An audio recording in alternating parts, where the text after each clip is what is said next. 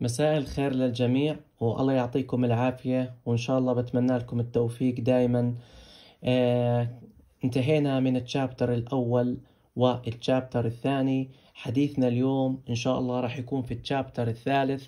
وزي ما بتعرفوا هذا التشابتر بيجي عليه لا يقل من خمسة لست أسئلة بالامتحان وجدا سهل إنك تحصلهم. وهذا التشابتر بيحكي فيه كلياته أكثر شيء عن ال amount of substance وعن المول و number of atom وال number of molecules و number of atom in molecules وبيحكي عن ال percent yield وبيحكي عن ال limiting reactant إن شاء الله راح نتعرف عليهم أول بأول. زي ما بنعرف هذا الدرس وهذا ال chapter بيحكي كمان عن النسبة والتناسب. لما أعمل نسبة وتناسب بين المعادلات الموزونة واللي بتكون معطاة بالامتحان وما في داعي أني أوازن معادلة تيجيك المعادلة موزونة بالامتحان جاهزة. فبالبداية بدنا نحكي أيضا في هذا ال chapter بيحكي عن ال Avogadro's number. فبالنسبة للعدد أفوكادرو وما هو عدد أفوكادرو؟ هو عبارة عن يساوي 6.02 في 10 قوة 23 هل هذا العدد حفظ؟ لا. بعطيك إياه بالامتحان. لاحظ عندي كان معطيهم إياه الأفوكادروز نمبر عدد أفوكادرو وهذا معطى في الامتحان ليس للحفظ لكن من كثر ما راح تحل لحالك راح تحفظه. وهذا الحديث في التشابتر راح يكون عن النسبة والتناسب بين المعاملات للمواد المتفاعلة والمواد الناتجة.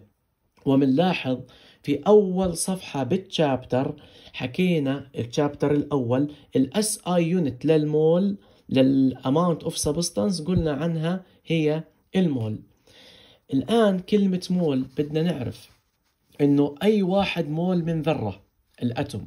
أو ions الأيونات أو ال molecules الملك الجزيئات أو ال particles تمام؟ الجسيمات والجزيئات والأيونات والذرات.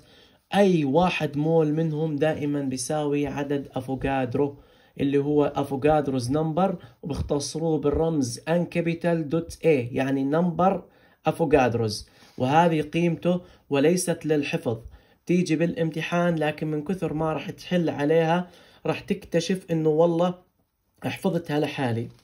فشو الملخص الكلام اللي كاتبه هون؟ أنا بقول لك يعني أي مو أي واحد مول من ذرة مثل عناصر الجدول الدوري أو أيون سواء كان موجب أو سالب أو جزيء أو جسيم كلهم بيساووا عدد أفوكادرو. هذه لازم نعرفها ونتعلم عليها لأنه اليوم رح نعرف كيف نحسب المول. وزي ما بنعرف دائما عدد المولات يساوي الكتلة على الكتلة المولية ورح نعرفها إن شاء الله اليوم.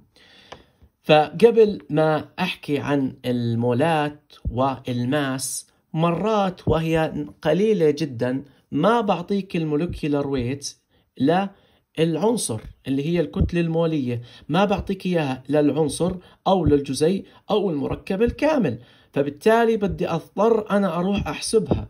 فحتى أحسبها بقول لك يتم حساب الكتلة المولية للمركب من خلال نضرب عدد ذرات الكتلة المولية للعنصر ودائما أي عنصر في الجدول الدوري الرقم اللي تحته بتكون هي الكتلة المولية للعنصر. كيف طيب؟ ممكن تفهمني؟ أكيد. بنيجي لهون الأكسجين كم العدد الكتلة المولية تحتيه؟ تحت. لا تأخذ اللي فوق. هاي أول غلطة ما بدي إياك تقع بيها بكرة بالامتحان. هلو بناخذ العدد اللي تحت مش اللي فوق. هيو 16 تعال على الكربون 12 نيتروجين 14 مغنيسيوم 24 و3 كالسيوم 40 صوديوم 23 وهكذا. أيضا لو قلت لك الهيدروجين كمان عندي الهيدروجين هي واحد. فهاي هي الأعداد أيضا موجودة تحت هون. ليست للحفظ معطاة بالامتحان والعدد الكتلة المولية بكون انتبه تحت العنصر مش فوقه من تحت. على سبيل المثال قايل لك calculate ال molecular weight لهذا المركب. كربون 6 هيدروجين 12 أكسجين 6 اللي هو C6H12O6 حتى أحسب الكتلة المولية لكل مركب بعمل على ضرب عدد الذرات لكل واحد في العدد الذري اللي هو عفوا الكتلة المولية إله اللي هو العدد الذري الموجود تحت العنصر. فهاي الستة هيها للكربون الكربونات عنده ستة ستة. ال 12 من وين جبتها؟ هذا الكربون موجود تحتيه بالجدول الدوري 12 زائد كم هيدروجين عندي هون؟ 12 هيدروجين. ضرب عدد الذري للهيدروجين واحد. زائد ست أكسجينات. ضرب كم العدد الذري هون؟ اللي بسموها ال molecular weight الكتلة المولية له 16 فلما أجمعهم وإنه طالع معي 180 ووحدة الكتلة المولية جرام لكل مول. هذا الشيء لازم أكون عارفه. لو أخذ المثال اللي بعده. المثال اللي بعده قاعد بقول لك ال H2SO4 كيف أحسب له الكتلة المولية للمركب كامل في حال بالامتحان ما أعطاني إياها فأنا بروح أحسب له إياها. فباجي كم هيدروجين عندي هون؟ ثنتين. كم الكتلة المولية له تحت العنصر واحد. زائد كم ذرة كبريت؟ وحدة. كم الكتلة المولية إلها؟ 32 زائد كم ذرة أكسجين عندي هنا؟ أربعة. تمام؟ كم الكتلة المولية إلها؟ 16 بجمعهم على الآلة الحاسبة وإنهم 98 بنيجي على المركب هذا. ال Ca N O 3 كلها مضروبة باثنين. هاي لو بدي أجي أفرجيكم إياها كيف كانت بالأصل هي عبارة عن هاي أصلها C Ca N O. 3 الكل اثنين. هاي الاثنين كأنك أنت ضاربها بالقوس هذا فقط. يعني كأنه عندي ذرة كالسيوم وعندي ذرتين من النيتروجين وست ذرات من الأكسجين. هاي لما ضربنا القوس ضرب مع خارج القوس بداخله. فبروح بحسب كيف عندي. عندي كم ذرة كالسيوم؟ واحدة. كم الكتلة المولية إلها؟ 40 من وين عرفت إنها 40 للكالسيوم؟ هيها موجودة عند الكالسيوم محطوط عليها دائرة. هيها هون شايفينها تحتيها دائرة. 40 زائد كم ذرة نيتروجين عندي؟ عندي ذرتين نيتروجين. ضرب الكتلة المولية للنيتروجين 14 من خلال الجدول الدوري المعطى في الامتحان. زائد كم أكسجين عندي؟ 6 ضرب 16 طب كيف صار 6 وكيف صارت هاي 2 ضربت هاي الاثنين برا في داخل هذا القوس اللي عندي وبجمعهم وبطلع الكتلة المولية لهذا المركب الكامل عندي اللي بسموها ال molecular weight أو ال molar mass. هيها. molecular weight MW. أكثر شيء هيك رح تشوفها بالامتحان. MW. تمام؟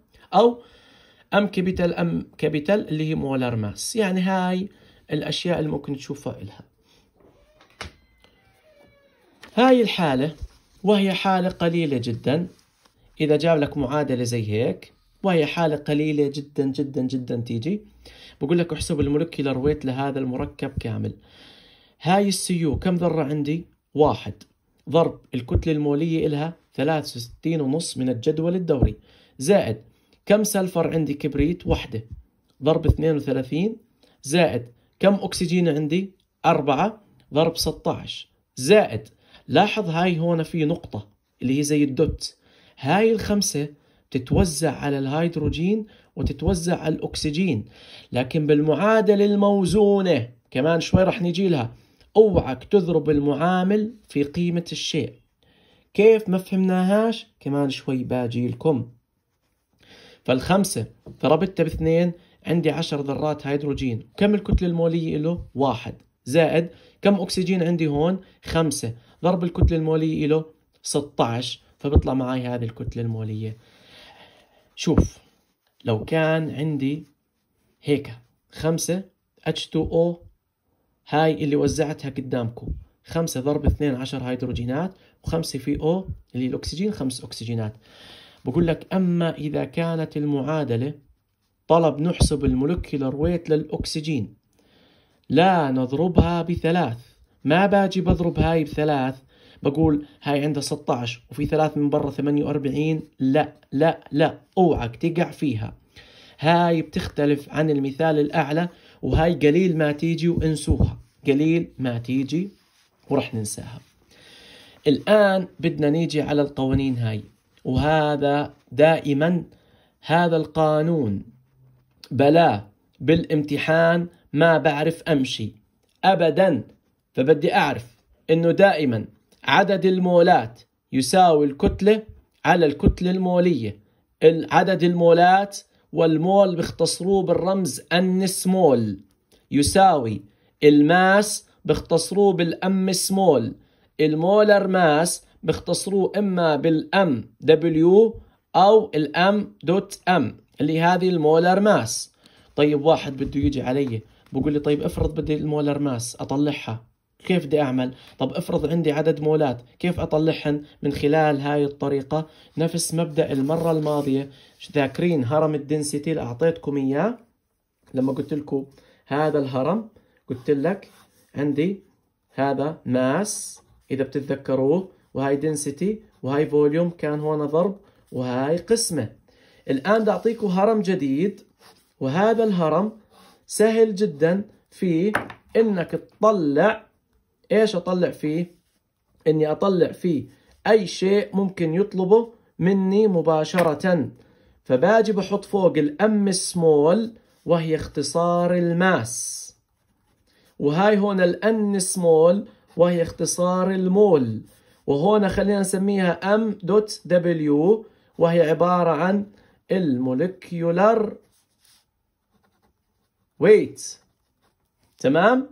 فنفس الأشياء اللي تعلمناها المرة الماضية. بدك على سبيل ال mass على سبيل ال mass على سبيل المثال ال mass بقول هي عبارة عن عدد المولات ضرب ال molecular weight. بدك ال molecular weight هي ال mass تقسيم المولات. بدك مولات هي ال mass تقسيم ال molecular weight. فهذا الهرم اللي رسمته هو اختصار هذا الهرم اختصار لهذول الموجودين عندي. لاحظ هيهم. بدك مول mass على molecular weight. بدك مول mass على molecular weight. بدك molecular weight mass على مولات. بدك ال mass المولات ضرب ال molecular weight. وهذا الهرم لما تيجوا تقروا إن شاء الله هذا ال chapter بتسكرنوا تعملوا screen هذا مع هذا أو تكتبوه على ورقكم اللي بتشوفوه مناسب إن شاء الله. تمام؟ الله يوفقكم. نيجي الآن نأخذ أمثلة. هذا المثال بقول لك أول سؤال How many moles are in 62.5 جرام من ال NaHCO3 لاحظ بده عدد المولات. لما يقول لي عدد المولات وبناء على الهرم هذا اللي معاي عدد المولات بده يكون ال mass على ال molar mass. طيب بدي أعطيكم معلومة إنه ال mass تقاس بالجرام وال molecular weight بالجرام لكل مول وعدد المولات من اسمه يقاس بالمول. تمام؟ فدائما وحدة ال mass لازم تكون مطابقة لوحدة الكتلة المولية عشان إذا في عملية شطب يروح الجرام مع الجرام. تمام؟ وهلأ بنشوف كيف لما نيجي نطلع عدد المولات. فبنرجع للمثال هذا اللي معانا. How many moles are in 62.5 جرام من ال NaHCO3 هاي معطيني الجرام ما هي ال mass. هاي الجرامات هاي معناته ال mass. طيب وال NaHCO3 من وين أطلع له الكتلة المولية؟ دائما في حال ما أعطاك في الامتحان بروح بحسبها زي ما علمتكم. كم ذرة صوديوم عندي هون؟ وحدة. ضرب من وين جبت ال 23 هيها في تحت الأسفل العنصر. هذا الصوديوم هاي 23 أسفل العنصر. عدده بكون العدد الكتلة المولية. ضرب كم هيدروجين؟ واحد. ضرب واحد زائد كم كربونة؟ واحد ضرب 12 زائد كم أكسجينة؟ ثلاثة في 16 بكون حسبت الكتلة المولية ووحدتها جرام لكل مول. طيب وال mass من وينها؟ هيها. المولات بتساوي ال mass على ال molar mass. 62 ونص تقسيم ال 84 اللي طلعتها هون. لاحظ الجرام مع الجرام راحوا. على الآلة الحاسبة هيني حسبت المولات. تمام. هذا راح يتكرر معاك لقدام كيف تطلع المولات. من هون لنهاية الشابتر عدد المولات يساوي. هلو خليها ببالك الله يرضى عليك انت وياها. عدد المولات يساوي الماس على المولر ماس. بالعربي الكتلة على الكتلة المولية. هذا هو عدد المولات. هذا الأمثلة اللي قدامك دايما عليها سؤال بالامتحان. وحياتك إنه غير يجي في الامتحان. هذا واحد عليه دايما سؤال بالامتحان. شو قصدك فيهن؟ قصدي فيهن بقول لك number of atoms عدد الذرات. شو المقصود بالذرات؟ جميع عناصر الجدول الدوري. فقط لما تكون ذرة لحالها. بوتاسيوم صوديوم مغنيسيوم أكسجين نيون ألمنيوم أي ذرة من ذرات العناصر جدول الدوري هاي اللي قدامك. شو بتساوي؟ بتساوي عدد المولات ماشي ضرب عدد أفوغادرو طيب عدد المولات من وين طلعوا؟ من القانون ال mass على ال molar mass وعدد أفوغادرو من وين هو؟ قلت لك عدد أفوغادرو هو عبارة عن 6.02 في 10 قوة 23 وفي بعض المصادر بحطوا 6.022 ضرب 10 قوة 23 تمام؟ هذا ليس للحفظ يعطى بالامتحان. لكن صدقني وصدقيني قد ما راح تحلوا عليهم بهذا التشابتر راح تشوف قدامك إنك حفظته لحالك. طيب لما يقول لي number of molecules شو يعني ال molecules؟ قلناها امبارح ال molecules بكون متكون من ذرتين فما فوق. زي O2 زي مثلا مركب CH4 C6H12O6 أي شيء راح ناخذه بالأمثلة كمان شوي بيكون أكثر من ذرتين. طيب المثال الثالث اللي هو عبارة عن number of atoms in molecules. شو هو؟ يعني عدد ذرات. مثلا بقول لك روح احسب لي ذرة أكسجين. هاي ذرة الأكسجين في المركب الكامل. وراح ناخذ عليه في الأمثلة وهو يساوي عدد المولات ضرب عدد أفوغادرو في عدد ذرات العنصر المطلوب. بيجي واحد بيقول لي طيب هذا القانون نفس هذا القانون. طيب إذا شو بيختلفن عن بعض؟ هاي ذرات عناصر الجدول الدوري. هذا جزيء. وكمان شوي راح ناخذ معاكم بالأمثلة. أيضا إذا كان معك وهي معادلة رياضية سهلة يعني.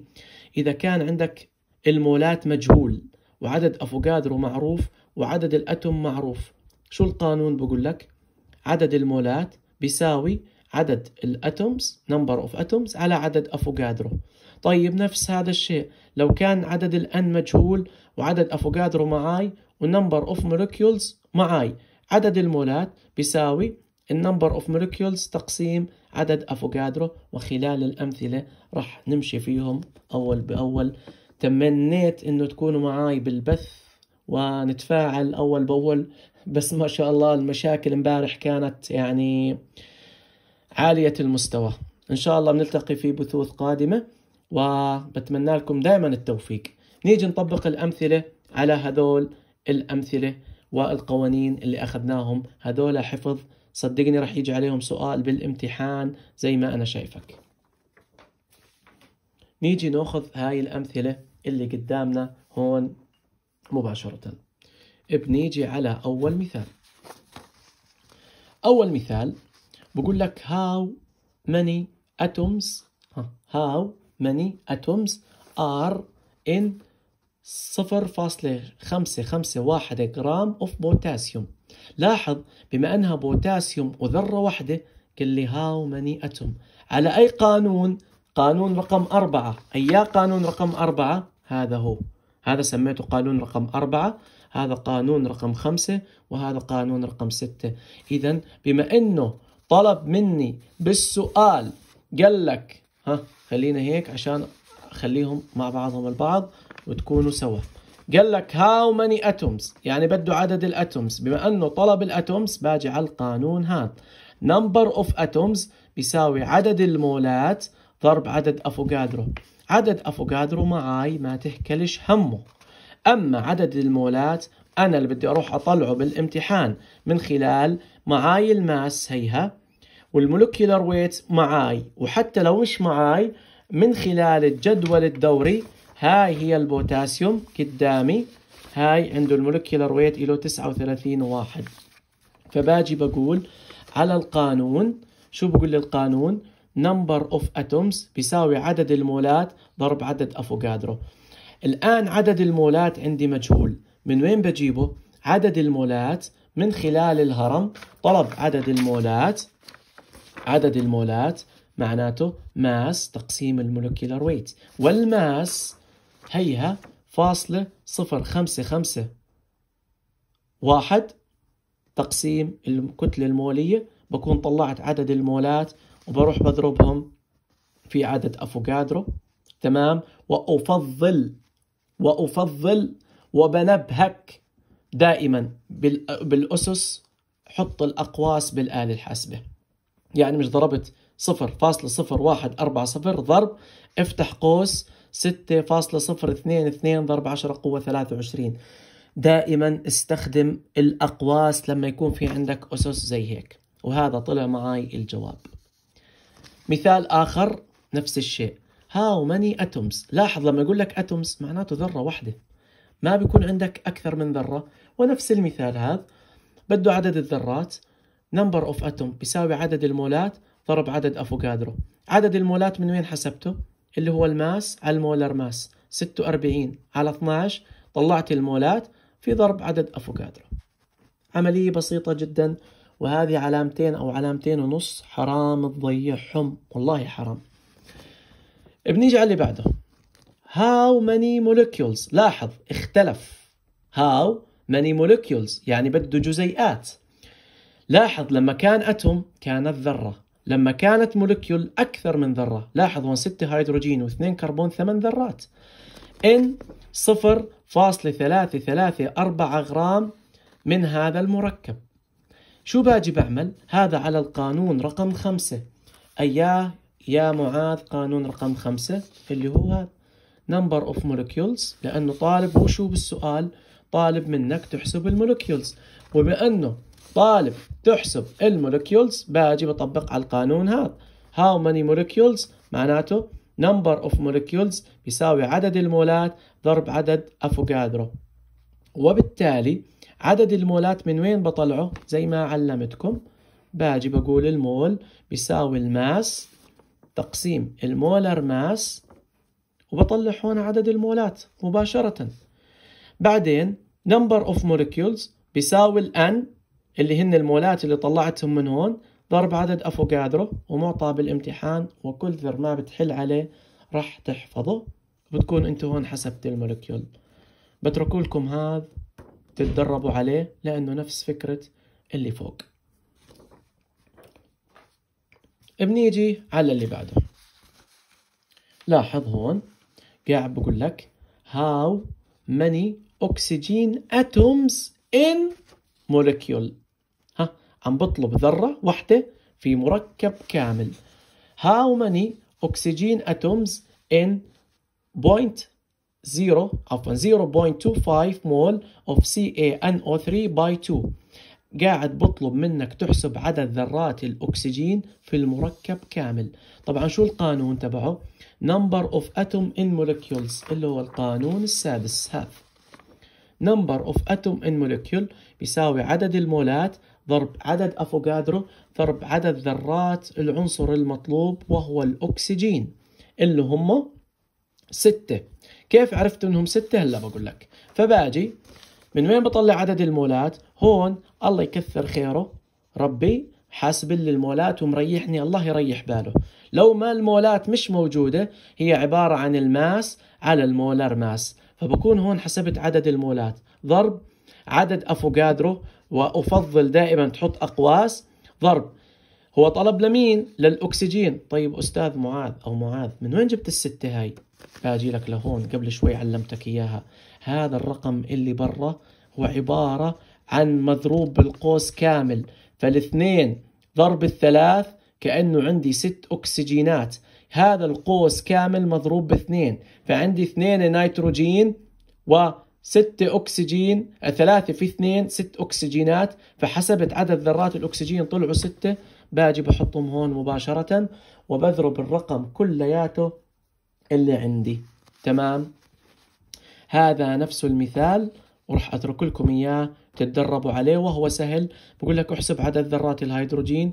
ها hydrogen atom in molecule فهون عندي ثمان ذرات للهيدروجين وعدد أفوغادرو معي وبطلع عدد المولات بقسمة ال mass على ال molar mass. الآن بنيجي لفكرة سؤال جديد وهو مختلف وهو دائما بيجي عليه سؤال وجابوه على الامتحان ال mid السابق. بقول لك هذا المركب. C4 H4 S2 How many sulfur atoms in 25 molecule لاحظ معاي هون الفكرة بكل السؤال فقط بدك تضرب عدد ذرات ال sulfur اللي هي اثنين ضرب 25 بيجي واحد بيقول لي طيب ليش ما أضرب ال 25 في اثنين في عدد أفوغادرو غلط. هذا قايل لك ال molecules 25 molecules يعني كأنه هو ضارب المولات بعدد أفوغادرو ومخلصن. كأنه هاي شايفين هاي؟ number of molecules كأنه هاي كلياتها مجهز لك إياها. فهاي عبارة عن كلياتها جاهزة كاملة. فباجي بقول بما إنه هون قايل لي how many sulfur atom in 25 molecules مختلف عن اللي فوق. فما إنه عندي 25 جزيء وعندي ذرتين ال sulfur 2 في 25 بيطلع معي 50 بيجي واحد بقول لي طب ليش ما ضربت بعدد أفوغادرو؟ هل عندي مولات؟ هل أعطاني mass على molar mass زي اللي فوق؟ طيب هل هو قايل لك روح احسب لي إياهن؟ هو مجهز لك ال molecules خلص قايل لك عندي 25 molecules. بمسك هذا ال molecules وبضرب بعدد الذرات المطلوبة معي مباشرة. نفس الشيء اللي تحت. يعني كل الفكرة شايفين قانون خمسة رقم خمسة اللي هو هذا؟ قانون رقم خمسة هذا جاهز خلص أنا جاهز ماخذه مخلص جاهز وعلي أروح بس بضرب بعدد ذرات العنصر المطلوب. بس للفكرة السؤال هاي. طب لو قال لي how many oxygen atom in 30 molecules معاي 30 molecules وكم ذرة اكسجين عندي؟ ثنتين. اثنين في 30 60 طب معقول؟ في سؤال اجى هيك بالامتحان؟ نعم هذا السؤال اجى في إحدى السنوات السابقة وخليني أدور لكم عليه كذا إنه موجود قدامي وأعطيكم إياه فرجيكم كيف فكرته كانت بالامتحان.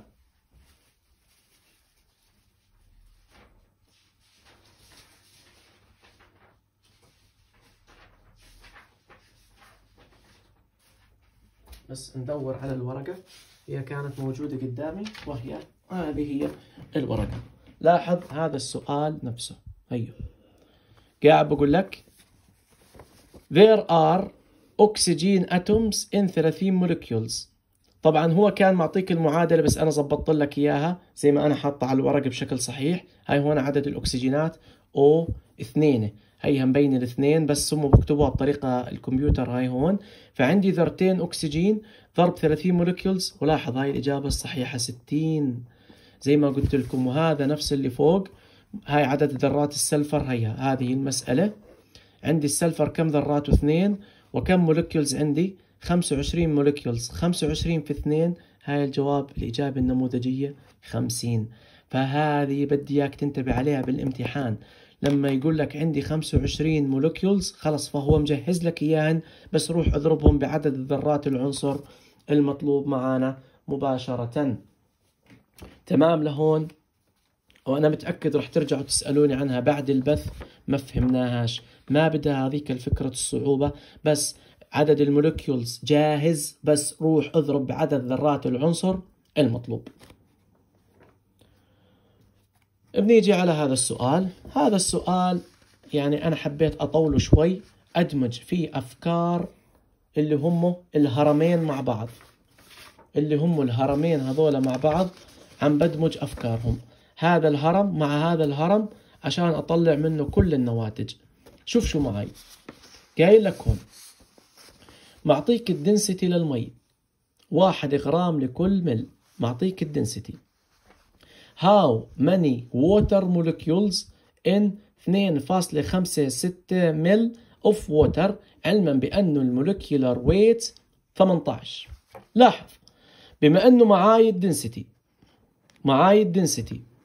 ومعاي ال volume مين بحسب؟ بحسب ال mass من وين؟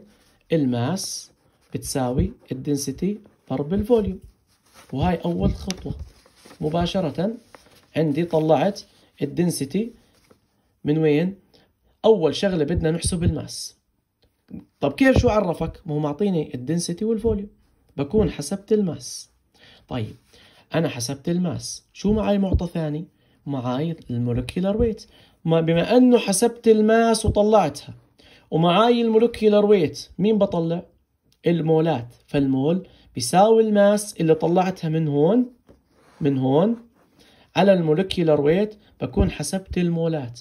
وبما أنه حسب مني ال molecules فكنت تقول لي اذا شو هالعجقة اللي قاعد تعجقنا إياها؟ لا مش عجقة. أنا ربطت سؤالين مع بعض واحتمال لو أجا تكون فاهم فكرة إنه هذولا الاثنين بستفيد منهم. كان معي density و volume رحت طلعت ال mass. بما إني حسبت ال mass هي ال density ضرب ال volume طيب بما إنه ال mass معي وال molecular weight معي بروح بطلع عدد المولات واللي هي بتساوي ال mass على ال molar mass بكون حسبت عدد المولات. وبما إني طلعت عدد المولات وطلب مني how many molecules على القانون رقم خمسة اللي هو هذا. بتساوي عدد المولات ضرب عدد افوكادرو وهي هاي عدد المولات وهاي عدد افوكادرو تمام لهون؟ تمام. بنيجي لآخر فكرة سؤال معاي أو ظل كمان فكرتين وننتقل على اللي بعده. شوف شو فكرة هذا السؤال. بقول لك what is the mass of 22 molecules لاحظ معطيك المولكيولز 22 للمركب هذا وهاي الكتلة المولية. طيب. كلياتنا بنعرف قانون ال number of molecules شو هو بقول لك قانون ال number of molecules number number of molecules شو بيساوي؟ بيساوي عدد المولات ضرب عدد افوكادرو طيب ما هذا دائما معي وحافظه. دائما معي وحافظه معنا. وهاي مجهول. هاي الآن مجهول. بس شو معطيني هو بالسؤال فوق؟ معطيني عدد ال molecules قديش؟ 22 حلو لهون؟ تمام. فبما أنه معطيني عدد ال molecule ومعي عدد أفوكادرو بالرياضيات الآن بتساوي 22 على استخدم الأقواس 6.2 في 10 قوة 23 سكر القوس.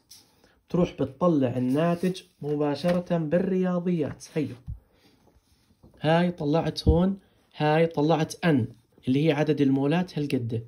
طب هو شو طلب مني؟ ال mass.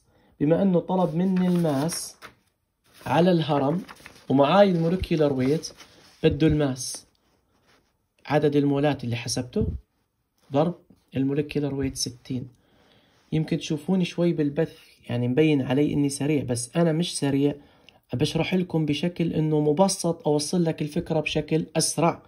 وأفضل منه أقعد أكتب بورقة وقلم وأضيع وقت هاي قدامك وأنت بتتبع معاي.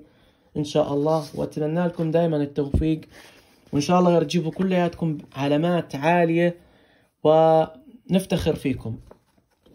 فال mass بتساوي المول اللي طلعته هون ضرب ال molecular weight. ففي قانون سهل آه.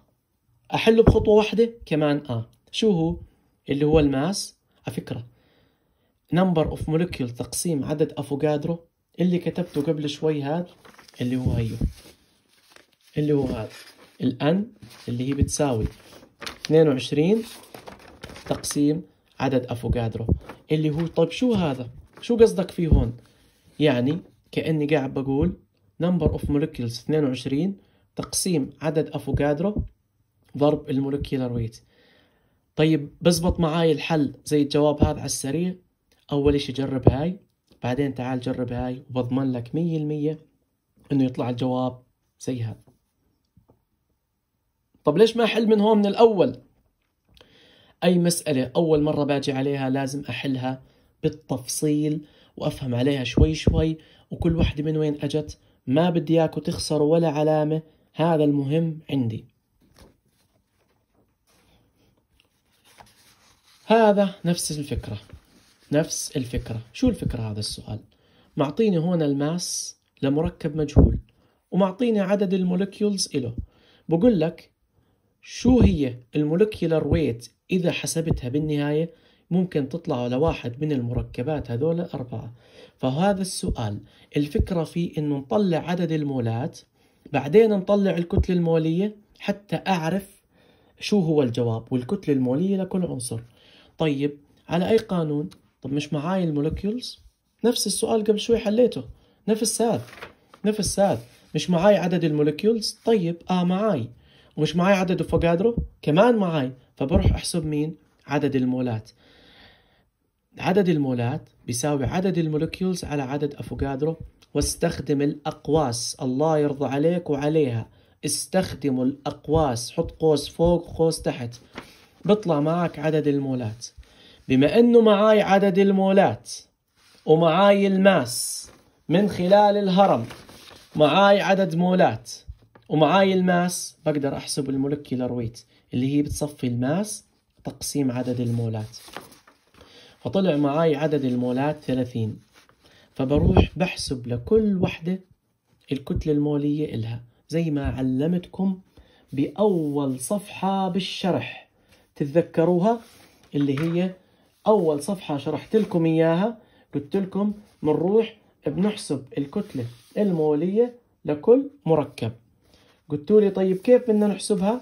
علمتكم إياها بالتفصيل إنه كيف أبلش فيهم وأطلع لكل عنصر شو من خلال. على سبيل المثال طلع الجواب طب كيف عرفت إنه هي 30 باجي على الكربون. واحد في 12 زائد اثنين في واحد زائد واحد في 16 طلعت 30 بروح بجرب عليهم الأربعة واللي بيطلع جوابها 30 بتكون هي الخيار. الفكرة سهلة. أعيده آخر مرة. معي عدد ال molecules ومعي عدد أفوجادرو. بطلع عدد المولات. بما أنه معاي المول ومعاي ال mass بحسب ال molecular weight واختار في منهم أي واحد الصح. تمام؟ هذا بترك لكم إياه السؤال. جدا سهل. ما فيهوش أي صعوبة. هو بس بدك تحسب ال volume. وجدا سهل حساب ال volume. بس أشرحه شفويا. معاك عدد ال molecules ومعاك عدد أفوجادرو. بطلع عدد المولات. بطلع عدد المولات. وبما إنه معاي عدد المولات ومعاي ال molecular weight بقدر أطلع ال mass. وبس أطلع ال mass. معاي ال density ومعاي ال mass بحسب ال volume. فكل حلي على الهرمين هذول. صح إنه السؤال معجّق بس صدقوني لما تحلوه برواق وهدوء راح تطلع معاكم النتيجة. تمام؟ المعادلة الموزونة يعني قليل. مرة واحدة جابوا عليها بس حتى لو جابوها أكيد كلكم بتعرفوا توزنوا معادلة. ففيش داعي إنه نشرحها حتى الدكاترة بالجامعة قليل ما يشرحوها أو نادر ما يحكوا عنها. الآن بننتقل لموضوع. هذا الموضوع دائما بيجي عليه سؤال في الامتحان. إذا ما فهمت هذا الموضوع هون كمان أربع أسئلة لقدام ما راح تعرف تحلهم أبدا. معقول؟ آه معقول. شو الفكرة هون؟ الفكرة كيف نعمل نسبة وتناسب بين المعادلات بعضها البعض ما بين هاي الأشياء اللي موجودة عندي. كيف؟ إذا طلعت عدد مولات مثلا A كيف أحسب مولات C إذا معاي مولات B كيف أطلع مولات D هذا كلياته جدا سهل عندي ودائما بيجي عليه سؤال في الامتحان وكيف نأخذ معادلة الكيميائية؟ ونأخذ هذا المثال ونفهمه أنا وياكم شوي شوي وراح أحله على ورقة عشان أظني ماشي معاكم أول بأول. عشان بتقولوا لي آه ما فهمناش على إيش البث التسجيل. لا خليه هيك قدامكم وتفهموه بشكل أفضل عندي. وهو على الشكل التالي. شو قاعد بقول لك؟ عندي هاي المعادلة. طبعا هذه المعادلة تعطى في الامتحان وموزونة جاهزة. لا تغلب حالك فيها. وبنسبة أكبر الكتلة المولية دائما تعطى في الامتحان. فهو شو قال لك؟ قايل لك عندي اثنين CH3OH زائد 3O2 أعطتني 2 CO2 زائد 4 H2O هذه المعادلة الكيميائية اللي كتبتها نفس المسألة الموجودة. شو معطيني؟ معطيني ال mass لهاي 209 جرام. أعطاني ال mass إلها وأعطاني أيضا ال molecular weight إلها اللي هي عبارة عن 32 غرام لكل مول طلب مني أحسب ال mass للمي بده أحسب ال mass لمين؟ للمي اللي هي هاي ال mass إلها مجهولة X إذا ال mass للماء عندي هون شو مالها؟ مجهولة هيك المسألة. وعلما بأن الكتلة المولية للماء 18 غرام لكل مول. إذا اكتملت عندي المسألة. لاحظ شلون بحلها. لازم أعمل نسبة وتناسب ما بين هاي وهاي. ليش؟ لأنه أعطاني ال mass لهاي وال molar mass لهاي وأقول لك أعمل نسبة وتناسب مع الماء. قبل ما أعمل نسبة وتناسب لازم أروح أحسب مولات الميثانول اللي هو السي اتش 3 أو اتش كيف بدي أطلع مولاته؟ لأنه النسبة والتناسب ما بتزبط إلا بوجود المولات. ما بتزبط إلا بوجود المولات. كيف؟ عندي هاي هنا 209 تمام؟ هذه ال mass المعطاة في الامتحان. هذه عبارة عن ال mass. ورمزها m small فباجي بروح بالبداية بحسب المولات لهذا n بتساوي 209 على 32 تمام؟ 209 على 32 بالجواب نطلعها 6 و3 5 3 مول. هذا عدد مولات للسي اتش 3 أو اتش. تمام؟ هذا عدد المولات للسي اتش 3 أو اتش. كيف طلعته يا معاذ؟ قسمت ال mass على ال molar mass. والله عافية. وبعديها طيب باجي بعمل نسبة وتناسب ما بين هاي مع هاي. طب ليش؟ لأنه هو اللي طالبها. طب كيف بدك تسوي نسبة وتناسب؟ تعال. كم معامل قدام الميثانول؟ كم المعامل؟ معاملها اثنين. بتقول اثنين. تمام؟ هذه المعامل تبعيت معك وخلينا نقول 2 مول. من ال CH3OH. كم مول أعطتك؟ هاي الاثنين مول اللي هون اللي أنت المعامل هذا. قديش أعطاك مولات لما حسبتن؟ بتقول والله أعطاني 6.35 مول. حلو. جدا حلو. طيب إذا كان عندك هاي الأربعة. طب ليش قلت الأربعة مش الاثنين هاي ولا الثلاث؟ لأنه هو طلب مني الامتحان أعمل نسبة وتناسب بين هاي وهاي. فكم المعامل اللي قدامها؟ أربعة. فبقول أربعة. مول. من المي. قديش بتعطيني؟ هي X مجهول. هي X مجهول. X من المولات. مجهولة. تمام؟ ممكن أستاذ تعيدها ولا يهمك. قاعد بعتبركم أنتم معي على البث يعني ف من الزهق فبتبع معاكم. آه فشو بعمل بالبداية؟ بروح بطلع ال mass لهاي. منين أطلعها؟ ما هي معطيني إياها بالسؤال. في داعي أطلعها؟ لا. بطلع مين لعاد؟ المولات. شو بعمل؟ بقسم ال mass على ال molar mass. بطلع عدد المولات لل CH3OH حلو. باجي بعمل نسبة وتناسب ما بين هاي مع هاي المي لأنه هو اللي طالبها. بقول كل اثنين معامل أو كل اثنين مول من الميثانول أعطاني 6.53 مول. طيب الأربعة الأربعة قديش بعطوني؟ مجهول. بروح بضرب ضرب تخابطي اللي هو التبادلي. بقول ماشي. طبعا هاي المولات لمين؟ هاي المجهولة. بدنا نعرف إنها مولات خلينا بالأحمر عشان تميزوا بيها. مولات ال H2O اللي هي المي.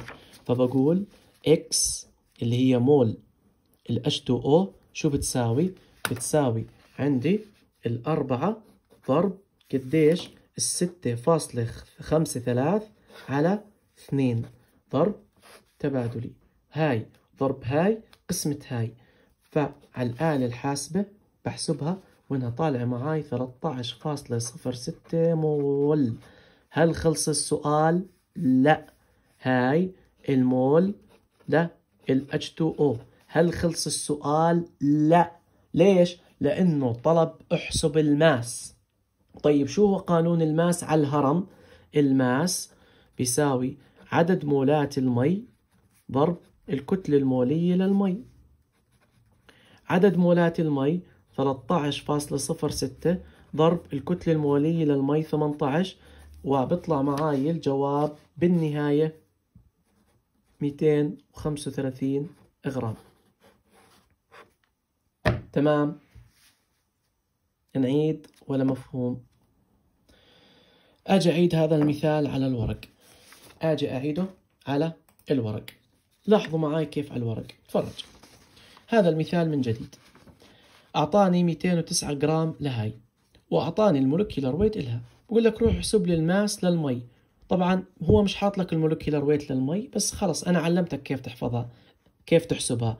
2 ضرب 1 زائد 1 في 16 نحسب مولات ال CH3OH بقسمة ال mass على ال molar mass.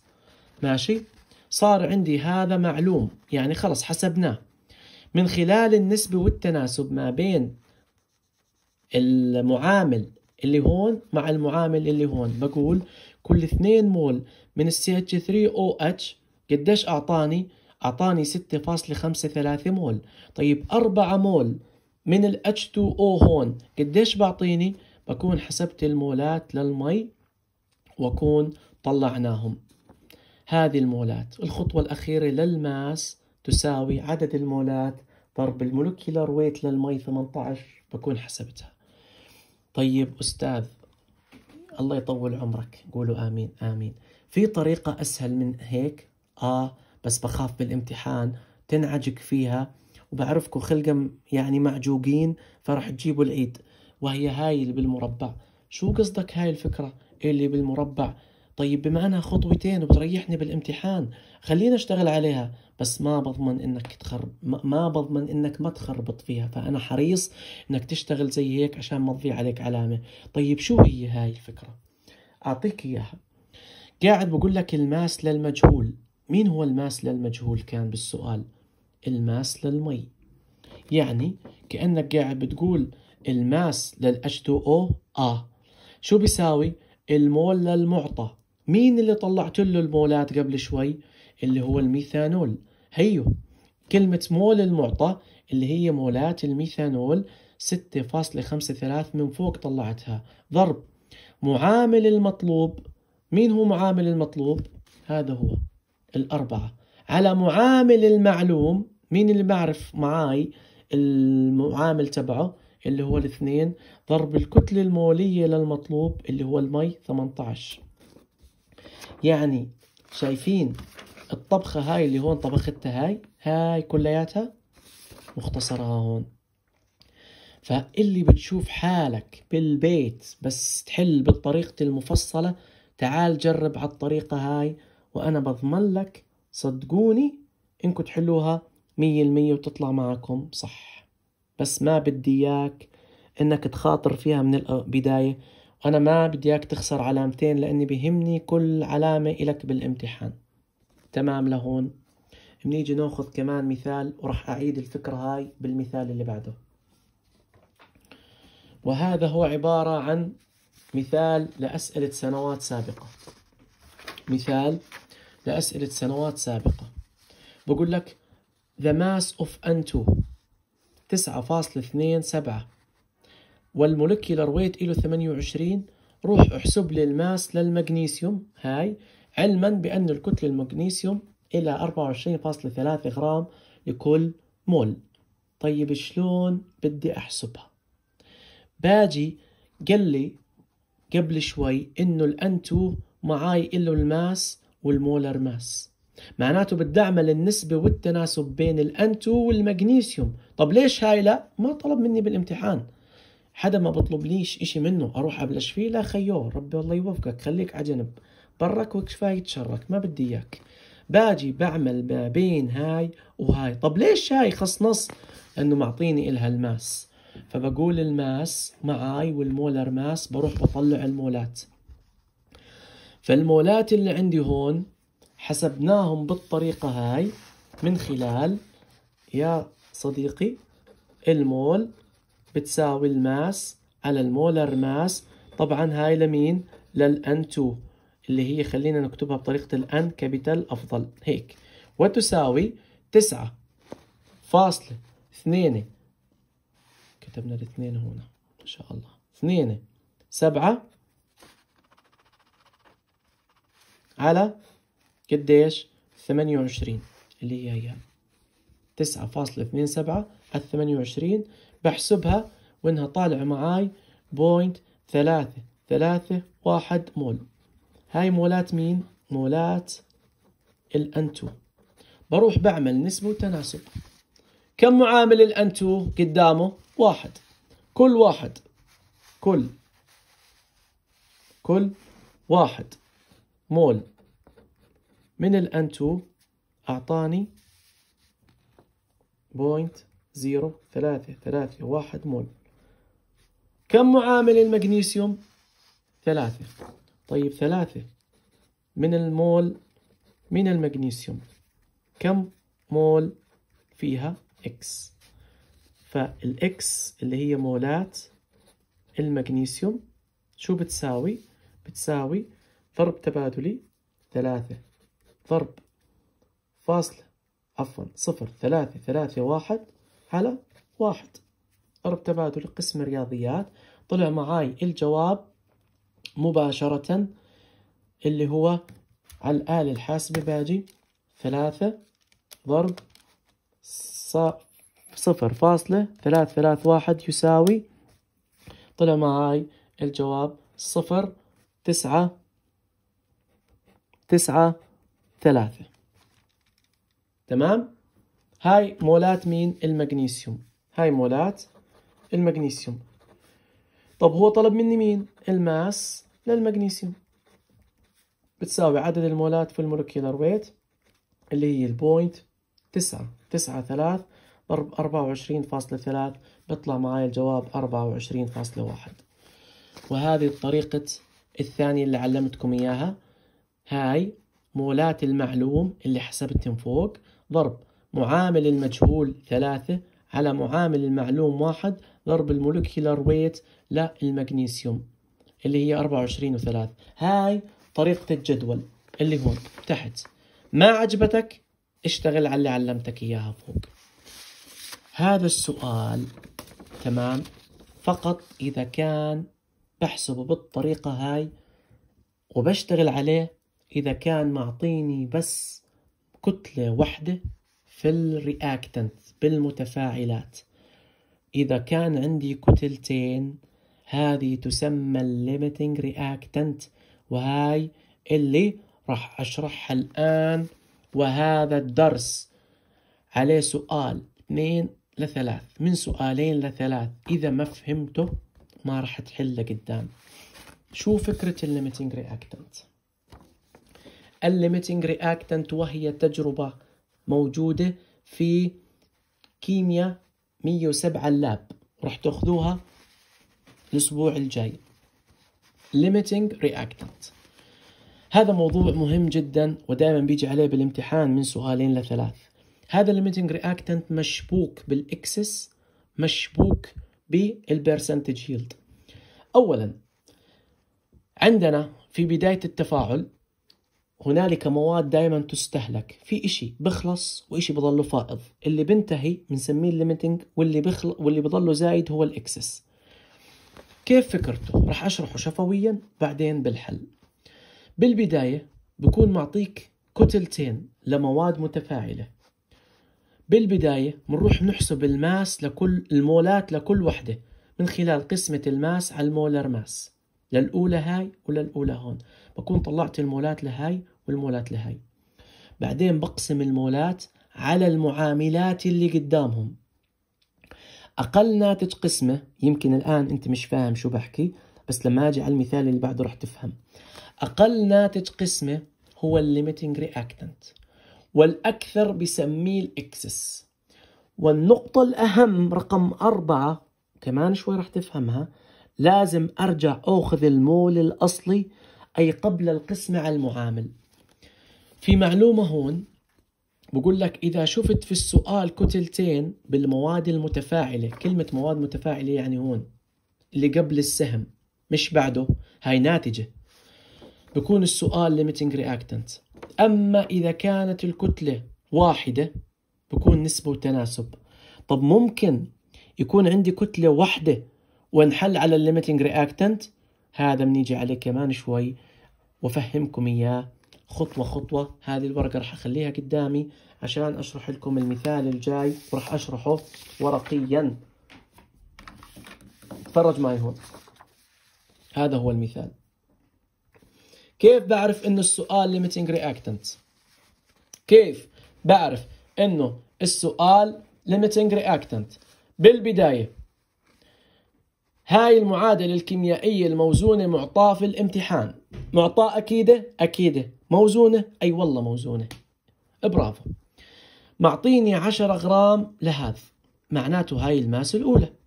ومعطيني عشرة غرام للماء لهذا معناته عندي mass ين. فهذا السؤال limiting reactant. شلون عرفت؟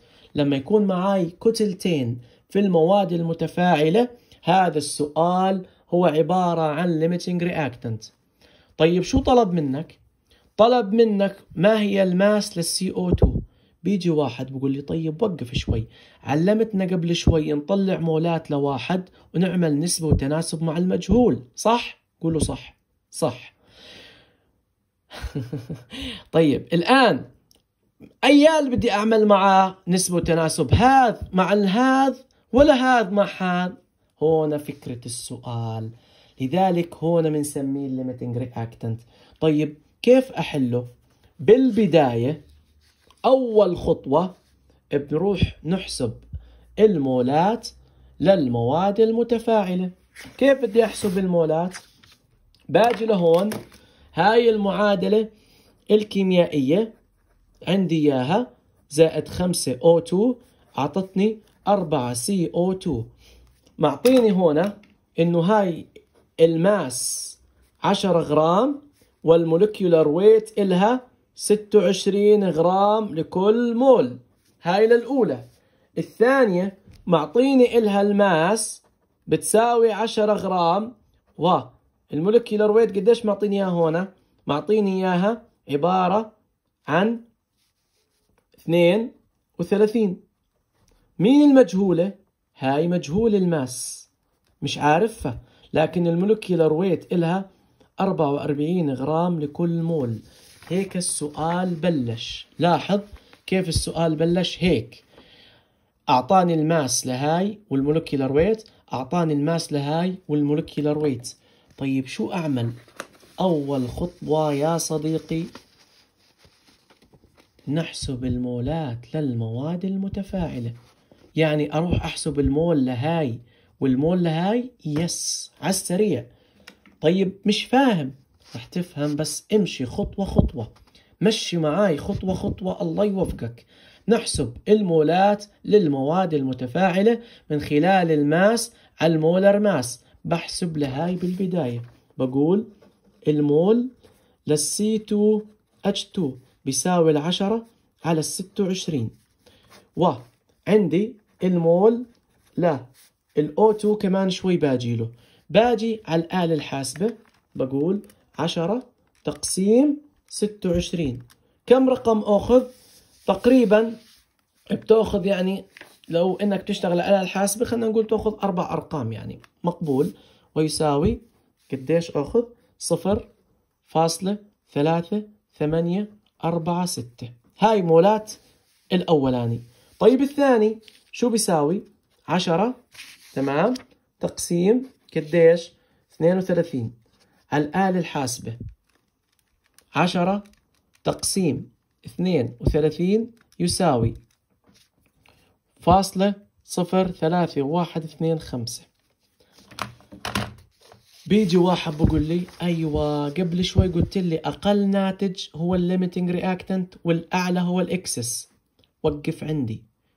وقف عندي. طب ليش توقف عندك؟ لا تغلط. شو قلت لك الخطوة الأولى؟ نحسب المولات للمواد المتفاعلة. طيب أنا هيني حسبتها. لكن تعال على الخطوة الثانية. نقسم المولات على المعاملات. هاي المولات اللي طلعتها هون نقسمها على المعاملات. نقسمها على المعاملات. أقل ناتج قسمة هو ال limiting reactant وأعلى ناتج قسمة هو ال excess طيب كيف؟ شوف معي كيف باجي بقول المول للسي 2 اتش 2 قديش طلعته فوق؟ هالقد صفر ثلاثة ثمانية أربعة ستة تقسيم كم معاملة؟ هيو هون قديش معاملة؟ من وين جبتها هاي؟ من المعادلة الموزونة بالامتحان نقسم المولات على المعاملات.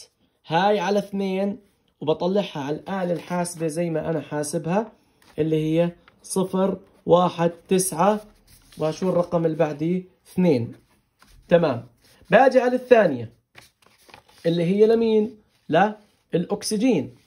باجي على الأكسجين المول للأكسجين شو بتساوي؟ هذا الجواب بوينت ثلاثة واحد اثنين خمسة. تقسيم خمسة. واحد بقول لي طب من وين جبت الخمسة؟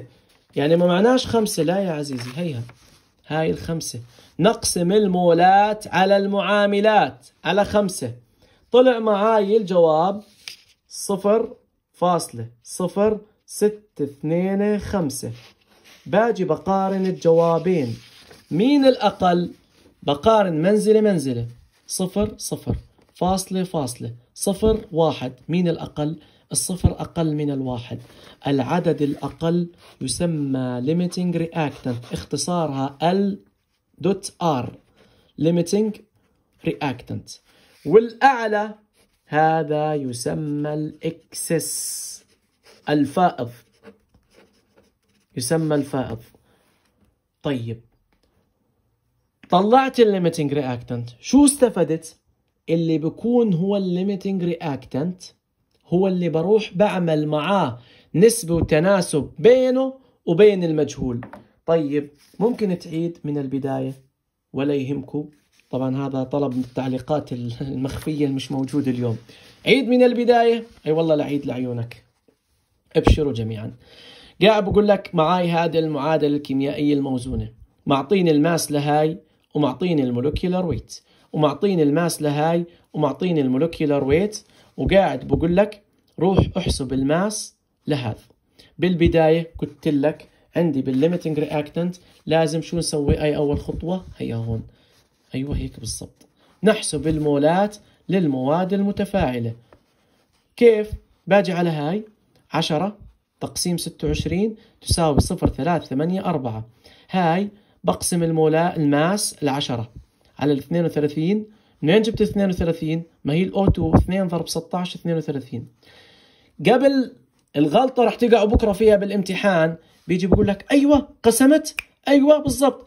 هذا أقل من هذا هذا limiting وهذا excess. روح روح. مش بالشيخ خليل المرة هاي. عباصات العروبة وحكايه على عمان ظلك رايح. لا.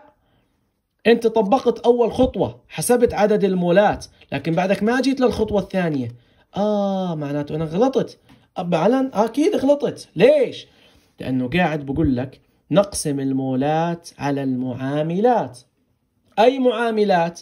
اللي قدام المولكيولز أو الأتومز اللي بتكون موجودة. يعني هذا الصفر فاصلة ثلاثة ثمانية أربعة على اثنين والصفر فاصلة ثلاثة واحد اثنين خمسة على خمسة. بالضبط. بالضبط. أيوه اقسم على المعاملات. والله بالضبط. قسمت هاي هذا اللي معاي قسمته على اثنين وهذا اللي معاي قسمته على خمسة. فبكون هذا ال limiting reactant وهذا ال excess. الآن برجع السؤال زي كأنه نسبة وتناسب بأول مثال أعطيتكم إياه. ذكروا لما قلت لك إذا mass واحدة خلص روح كمل السؤال؟ بالضبط. لكن الشيء المهم بما إني عرفت إنه الأكسجين بما إنه عرفنا إنه الأكسجين هي ال limiting reactant فبعمل ما بين الأكسجين والمجهول مين هو عندي المجهول؟ طالبه اللي هو ال CO2 بعمل نسبة وتناسب. بعمل نسبة وتناسب. كيف؟ سهلة جدا. كم معاملات الأكسجين؟ خمسة. بتقول خمسة. مول. من الأو 2 أعطوني. شوف بالامتحان الغلطة راح تقع فيها الكارثية. كلكم راح تحطوا الرقم هذا. لكن هلو. هاي خذها وتذكرها خليها ترن بإذنك. لما قال لك إياها. أهم شيء نرجع للمول الأصلي. أي قبل القسم على المعاملات.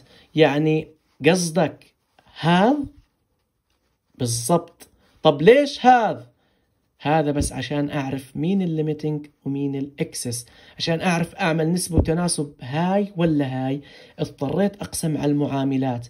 اللي بحط هذا راح يغلط ثلاث أسئلة لقدام.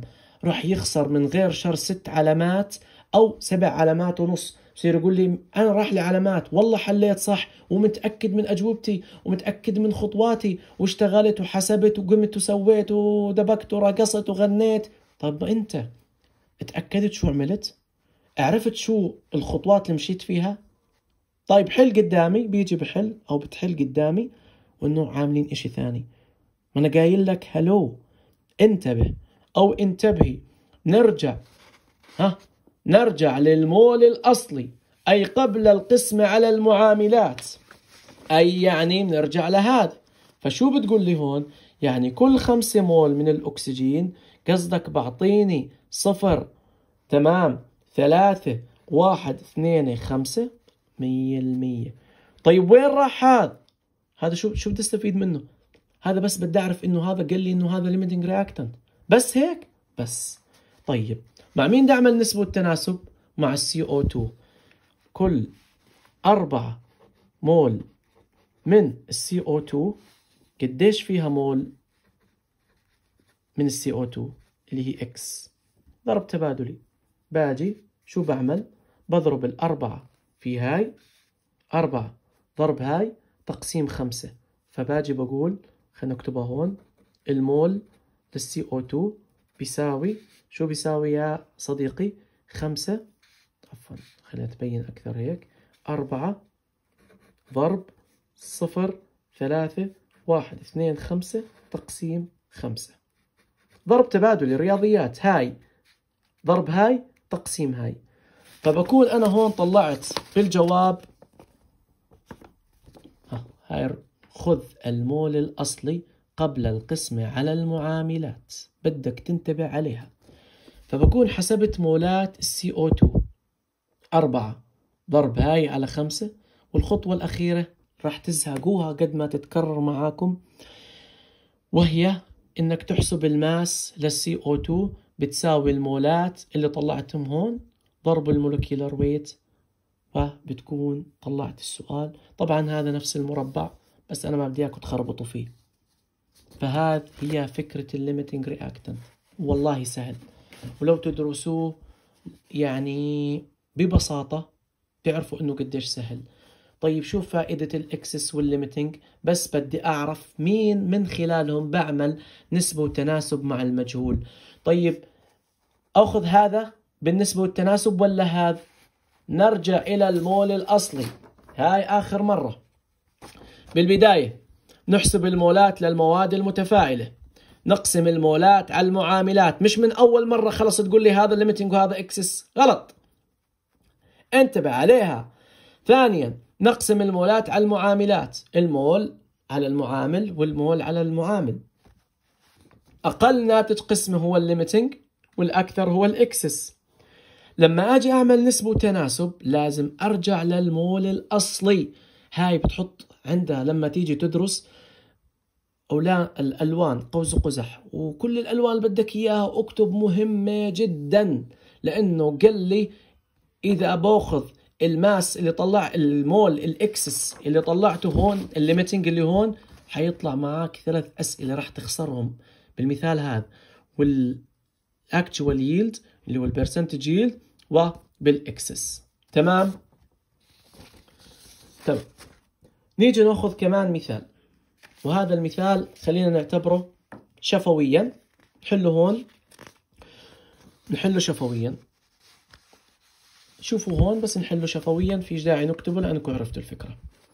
بقول لك عندي ثلاثة. H2 زائد N2 أعطاني 2 NH3 روح احسب لي الماس لل NH3 علما. شو معطيني؟ معطيني في البداية إنه ال mass لا. ال NH3 هذه المجهولة.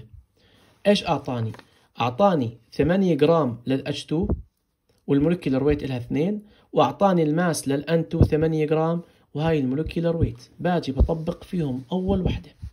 نحسب المولات اللي عندي. بقسمة ال mass على ال molar mass 8 على 2 بكون حسبت مولات ال H2 و 8 على 28 بكون حسبت المولات ل N2 بيجي واحد مباشرة بدون ما يتطلع بقول لي هاي ال limiting وهاي ال excess غلط. ليش غلط؟ روح اتأكد بالأول. اقسم المعام المولات على المعاملات. ال H2 كم مول معاي؟ أربعة. كم معاملها؟ ثلاث. أربعة بقسمها على الثلاث. طلعت معاي هذا الجواب. باجي على ال N2 كم مولاته؟ هالقده كم معامله؟ صدفة إنه هون واحد. طلع معاي هالقد الجواب. فمين بحسب؟ هاي ال limiting وهاي ال excess.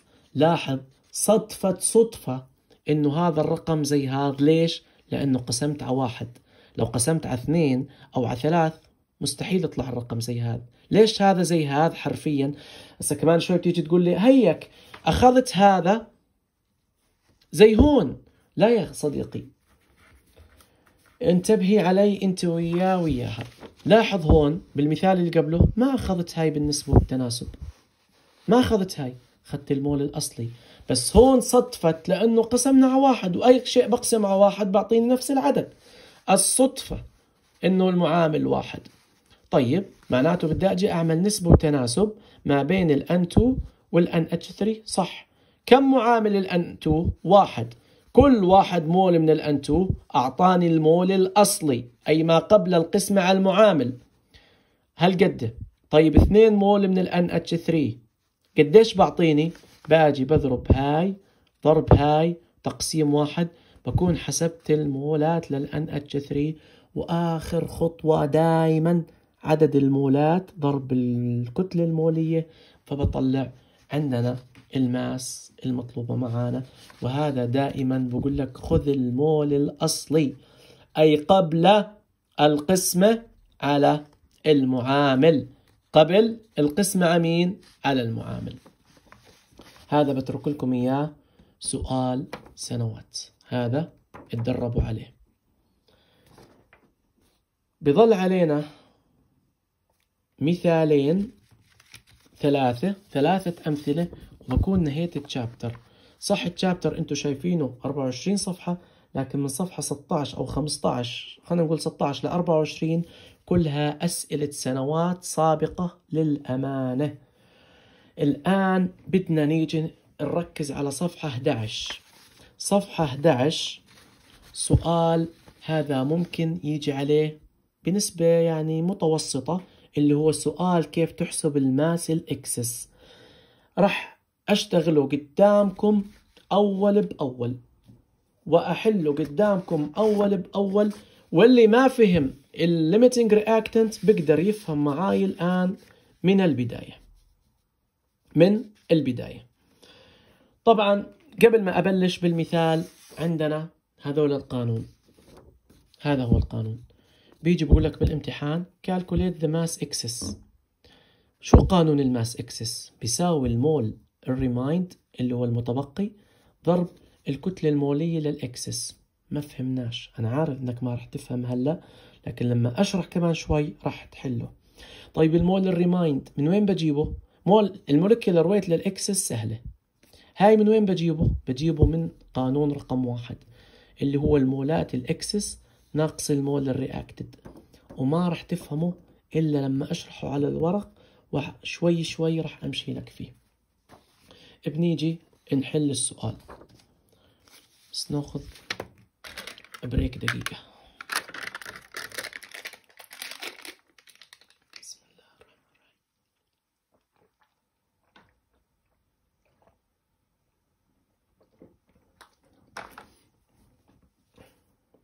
نكمل. نكمل معانا الشرح. قاعد بقول لك هون. لاحظ معاي قدامك هون. معطيني هاي المعادلة. ستة. Na زائد Fe2O3 أعطاني ثلاثة Na2O زائد اثنين Fe بقول لك روح احسب لي ال mass لل Fe calculate the mass of Fe كيف بحسبها؟ نفس الفكرة.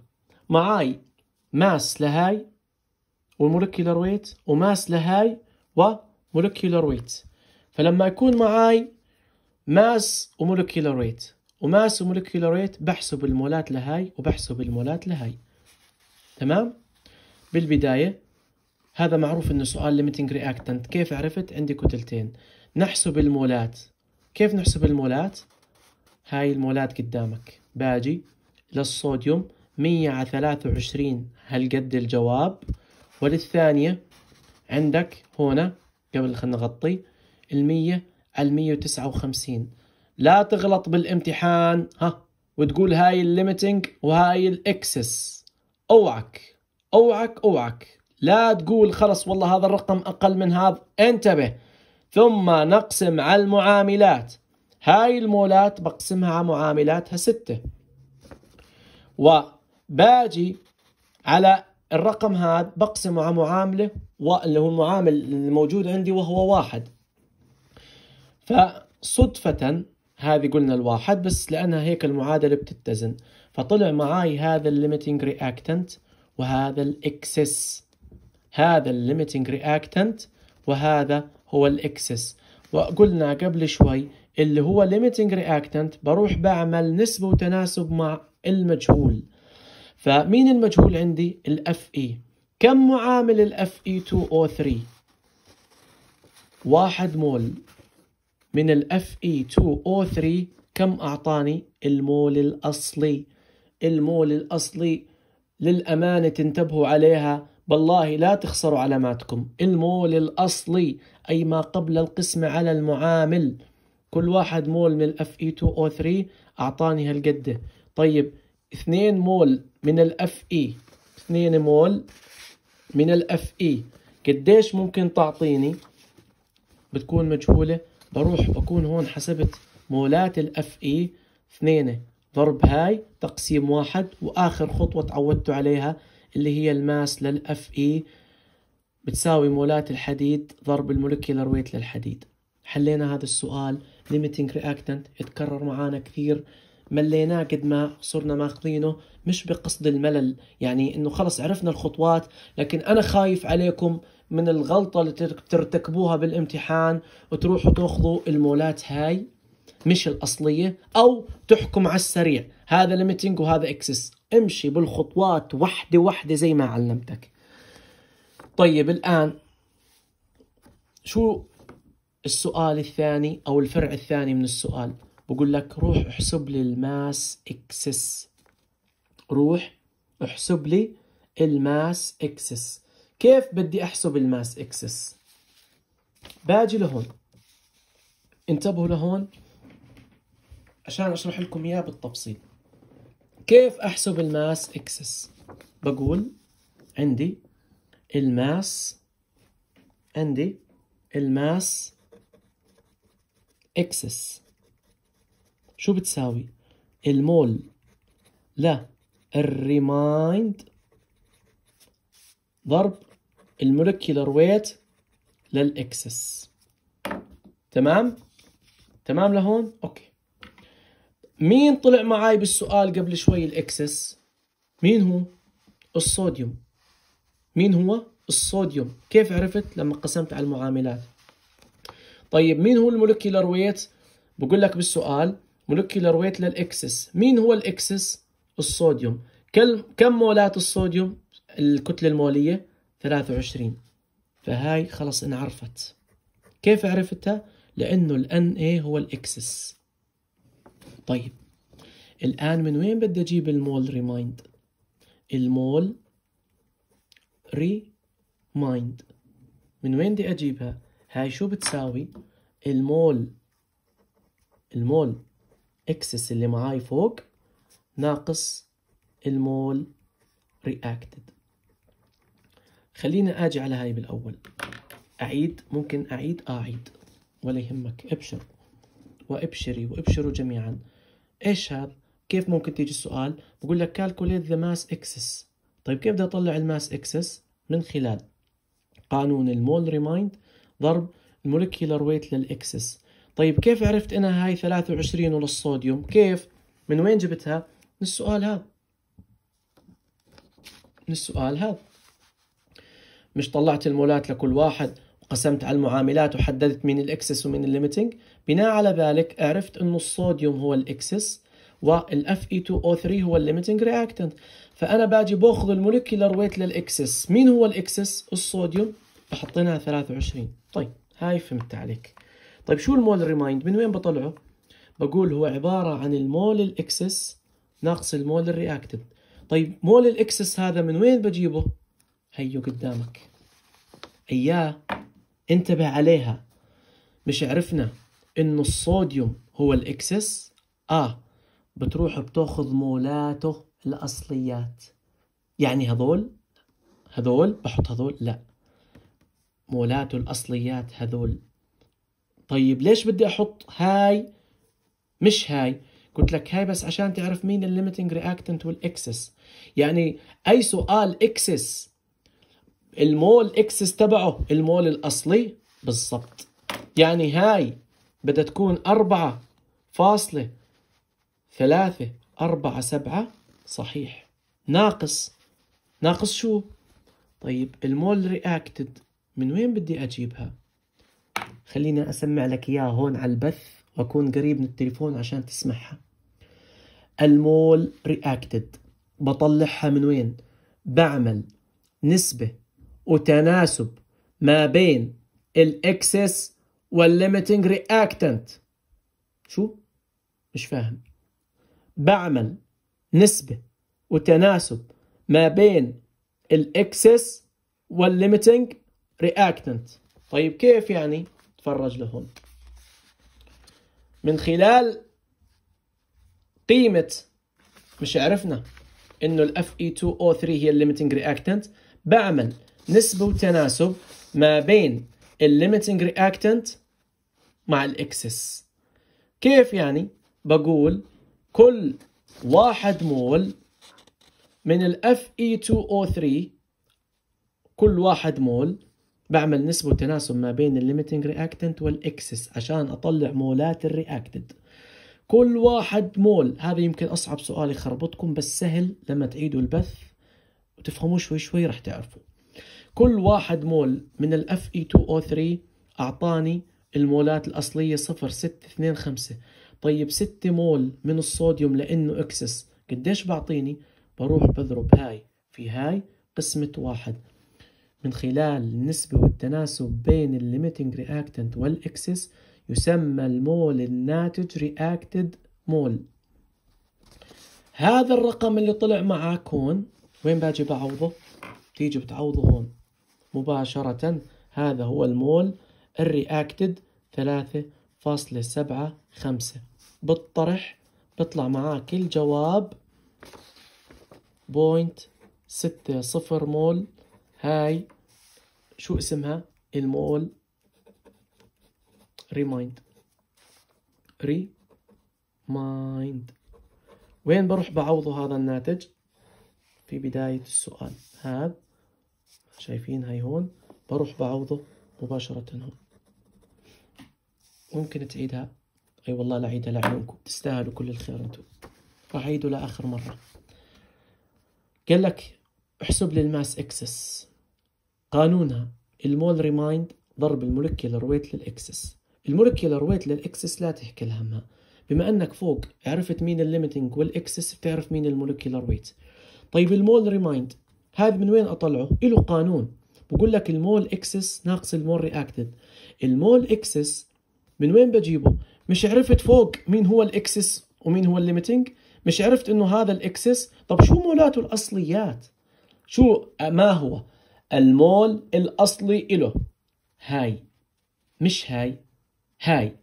طيب حطينا ثلاثة سبعة. طب المول reacted من وين أجيبها؟ بعمل نسبة وتناسب ما بين الـ limiting reactant والـ excess كل واحد معامل أو واحد مول من الاف اي 2 أو 3 أعطاني 0.625 طيب الست مول من الصوديوم قديش بعطيني؟ بضرب هاي في هاي. بكون حصلت مولات اللي هم الـ remained اللي حكينا عنهم اللي هم مولات مش الـ remained عفوا الـ reacted. طيب شو هو المول ال remained؟ مول الـ excess نقص مول ال reacted وهاي من خلال النسبة والتناسب نسبة. حتى كاتبها أنا أتوقع هيها. من خلال النسبة والتناسب بحسب المول reacted. وبطلع المول remained بس أحسب المول remained بروح بعوضه فوق.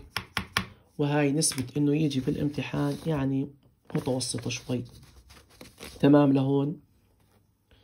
بنيجي لآخر موضوع عندي بالبث لليوم وراح أشرح عليه مثالين وأسكر إن شاء الله إيش البث. وأحل لكم بس في كمان مثال بدي أزيده عليه أو بخليه للبث القادم للتشابتر الرابع. أحل لكم أسئلة لهناك أو بنبلش بأي شيء. لاحظتوا معاي إنه الـ limiting reactant سؤاله لحاله. سؤال الـ excess بيعتمد على الـ limiting reactant والـ percentage yield بيعتمد على أيضا على الـ limiting reactant وهذا دائما سؤال في الامتحان. دائما سؤال الـ percentage yield كيف بيجي؟ نعرف السؤال من خلال وجود يا ثلاث كتل يا كتلتين. طبعا واحدة منهم إجبارية تكون بالنواتج.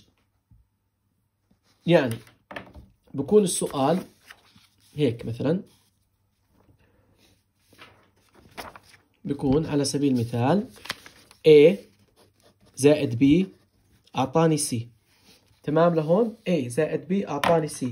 بكون هاي دائما معطاة. الـ mass اللي هون بتكون معطاة. فهذا السؤال بيكون عبارة عن إيش؟ ثلاثة mass أو ماسين. بتكون هاي معاي mass وهاي معاي mass. بيكون السؤال هاي انساها. فبكون معاي السؤال ماسين بالمتفاعلات و mass واحد بالنواتج.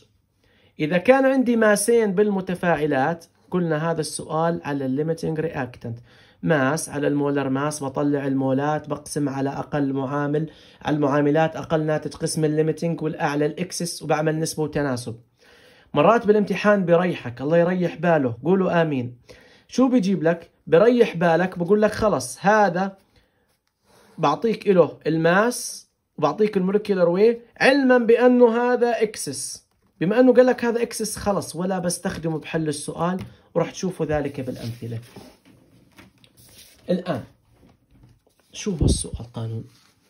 بيقول لك طبعا وهذا بيجي عليه بالكيمياء 103 107 الـ lab كمان سؤال. بقول لك الـ percent yield دائما سؤال في الامتحان. نعرف السؤال من خلال وجود إما ثلاث كتل أو كتلتين. واحدة بالمتفاعلات واحدة بالنواتج أو ثنتين بالمتفاعلات واحدة بالنواتج.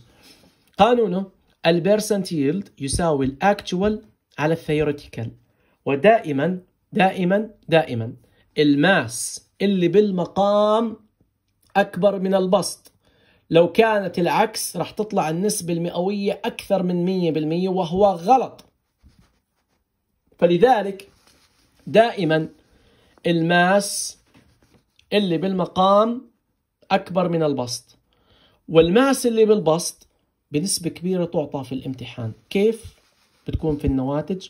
وهلا بقول لك كيف. كيف نحسب ال theoretical دائما ال actual اللي فوق هاي معطاه. هاي معطاه. مين بروح بحسب؟ بروح بحسب ال theoretical حرفيا زي أول chapter إذا كان معاي mass ين limiting reactant بعدين نسبة وتناسب. إذا mass وحدة mass ع molar mass مولات بعدين نسبة وتناسب وبطلعها. نستخدم نفس طريقة ال limiting reactant من حيث إيجاد المولات. ثم نقسم كل مول على المعامل ثم نحسب المولات للمجهول.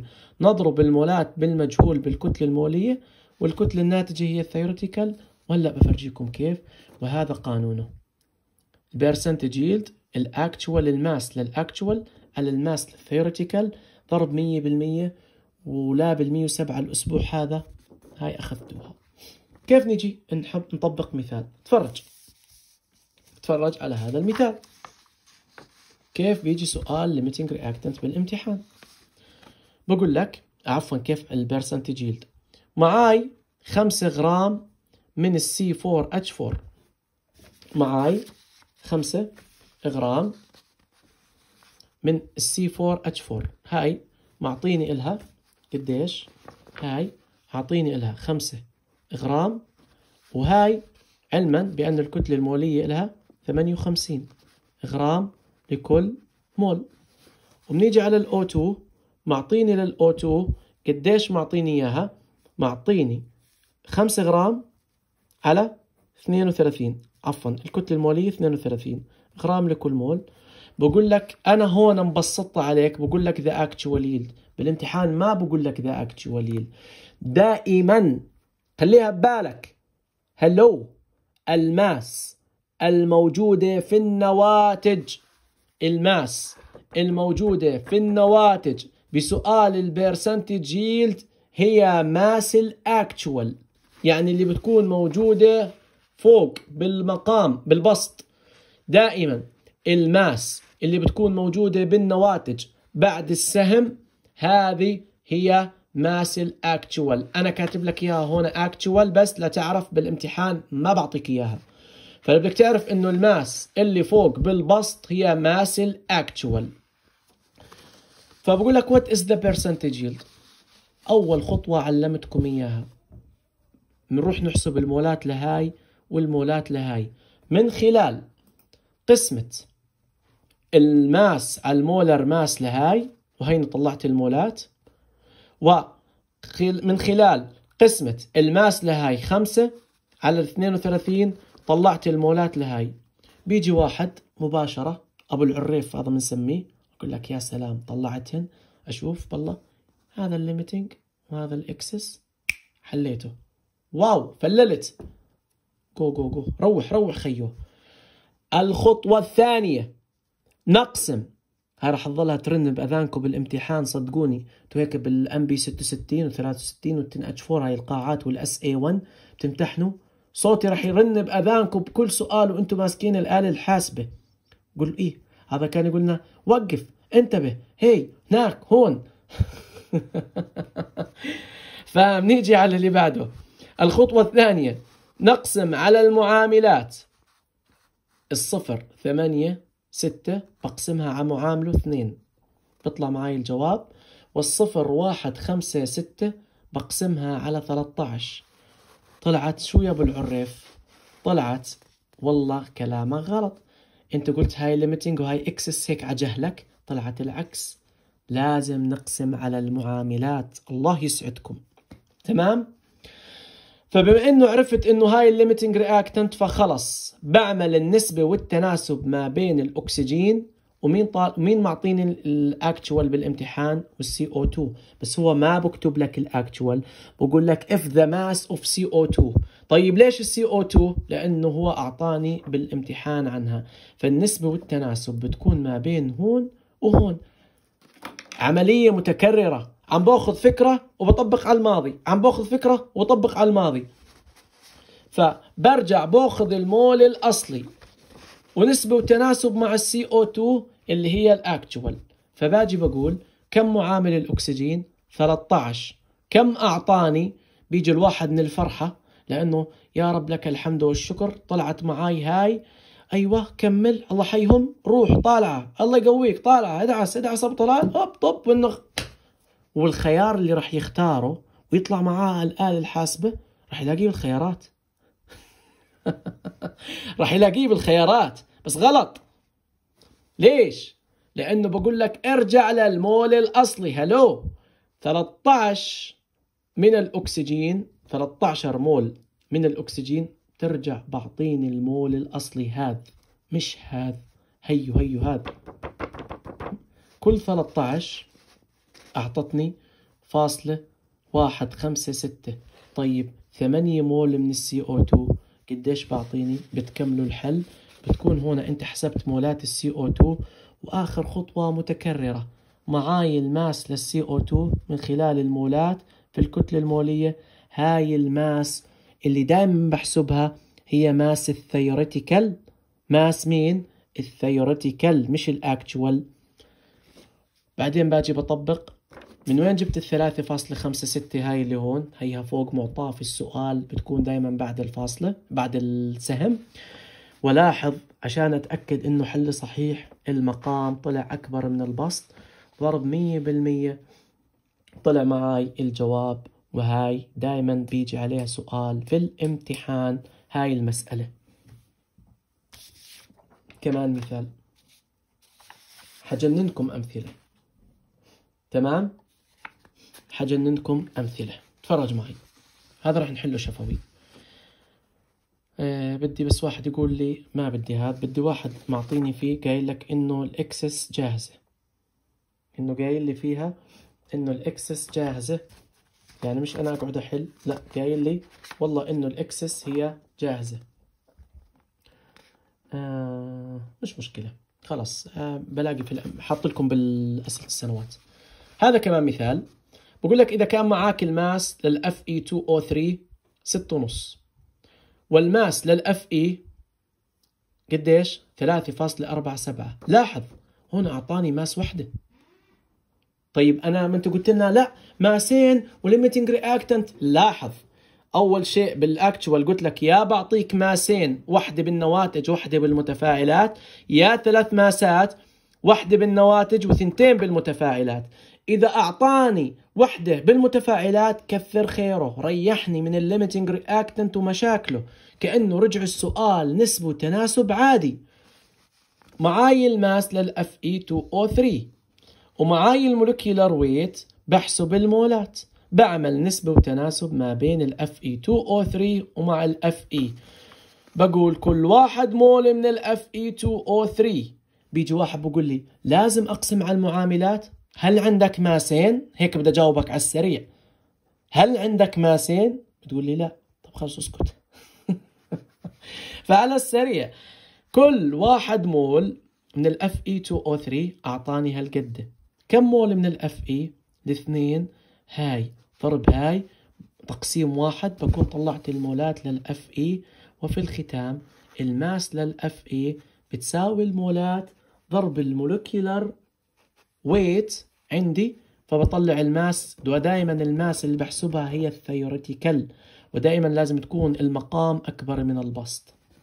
وهذا لكم تدريب. أجي الآن على سؤال فكرته معكوسة وهذه آخر فكرة للبث اليوم.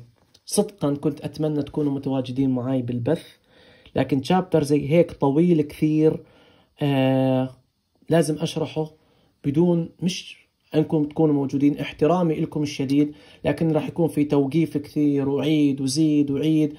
يعني البث الآن صار له دقيقة وأربعين قريب الأربعين راح يأخذ ساعتين ونص. فهيك شرحته بالطريقة الأفضل فأعذروني ونلتقي في قادم البثوث بإذن الله. الله يوفقكم وأتمنى لكم التوفيق بكل حياتكم الجامعية بنيجي نأخذ لهذا المثال. بقول لك 2H2 زائد O2 أعطاني المي. معطيني الماس للH2 حلو؟ ومعطيني الماس للO2 وال molecular weight معطيني إياها. ركز معي شوف شو لاحظ هون شوف وإنه معطيني ال percentage yield. طب أنت ليش أعطيتني البرسنتج يلد؟ ما أنا صار لي ساعة بحسبك هسه جاي يعطوني إياك أصلا عادي. بقول لك روح احسب ال mass لل actual. وهي ال mass اللي بالبسط. فكرة السؤال هذا ما بتخوف. هاي النسبة المئوية معاك. طيب ال theoretical من وين أطلعها؟ نفس المثال السابق. معاي mass ين. بقسم ال mass ين على المعام... على المولات على ال molecular weight. بطلع المولات. بس أطلع المولات بقسمهن على المعاملات. أقل ناتج هو ال excess وأعلى اللي هو ال limiting وأعلى ناتج هو ال excess. برد طلعت معاي هنا ليش أسرعت؟ لأن الخطوات هاي سهلة عليكم. ليش طيب عملت مع ال theoretical؟ دائما بنسبة أكبر ال theoretical هو الذي يحسب. فطلع معاي ال O2 هو ال limiting كم معامل ال O2 كل واحد أعطاني 0.156 طب 2 مول من ال H2O قديش أعطاني؟ مجهول. بكون حسبت المولات وضرب ال molecular weight. لاحظ معاي ال theoretical. هذا هو. فبقول النسبة المئوية تساوي ال actual على ال theoretical بقسم هاي على 100 وهاي على 100 عشان أخلص 100% فال actual ضرب تبادلي هذا ضرب هذا بطلع معي الجواب.